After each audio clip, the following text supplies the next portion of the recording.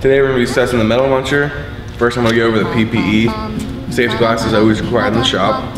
You're gonna wanna wear gloves for this, long pants, all the basic stuff. And then before you even start cutting, you're gonna wanna make your mark right where you wanna cut. Can I get you a glass? That's so. The duck said, pass. Then he waddled away. Then you're gonna wanna turn your light on. Always comes in handy. You're gonna wanna put it in there where you're gonna make sure it's all lined up perfectly with the blade. You don't want uneven cuts. Right when you have it like that, you want to turn it on. Hold down the metal